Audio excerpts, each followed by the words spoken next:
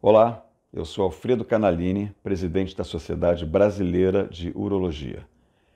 O dia 17 de novembro é o Dia Mundial de Conscientização sobre o Câncer de Próstata.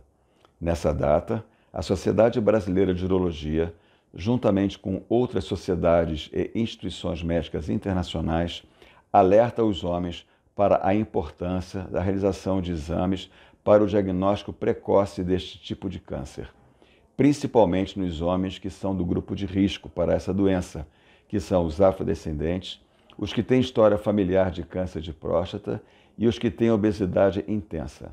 Alertamos também para o fato de que, quando os sintomas de câncer de próstata aparecem, a chance da doença já estar avançada, sem possibilidade de cura, é de mais de 90%.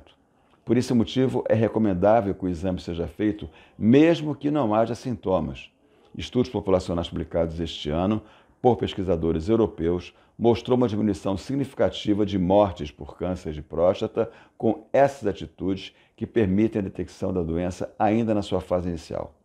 Tenha maiores informações sobre este câncer e sobre outros cuidados de saúde para os homens em nosso site www.portaldorologia.org.br.